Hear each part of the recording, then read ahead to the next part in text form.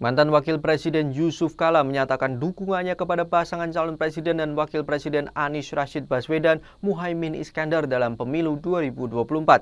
JK menyebut Anies bisa dikatakan sebagai muridnya dalam politik.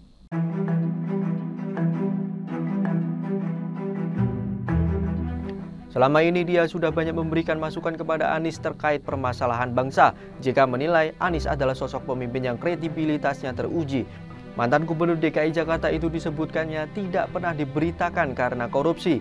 Ketika ada yang mencoba untuk mengaitkannya dengan kasus korupsi seperti Formula E, tapi akhirnya gagal. Pernyataan sikap politiknya kali ini dinyatakan JK sebagai sesuatu yang objektif secara pribadi. Dia merasa sebagai tokoh akan salah jika tidak menyampaikan pendapatnya yang dianggap baik ke publik. Eksekutif Kapten Timnas Pemenangan Amin Sudirman Said dalam kegiatan itu bersama dengan jubir Timnas Pemenangan Amin Muhammad Ramli Rahim menyampaikan kehadiran Yusuf Kala untuk memberikan nasihat kepada relawan penggerak gerakan rakyat. Sudirman tidak menyangka bahwa JK akan mengumumkan dukungannya dalam kegiatan tersebut. Sementara itu, Muhammad Ramli Rahim mengatakan sangat bangga atas pernyataan dukungan terbuka yang disampaikan JK.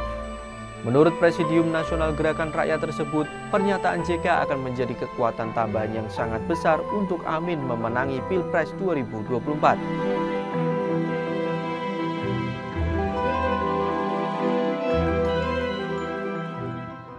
Ikuti update terbaru dari sosial media Tribun Jateng. Download Tribun X sekarang, menghadirkan lokal menjadi Indonesia.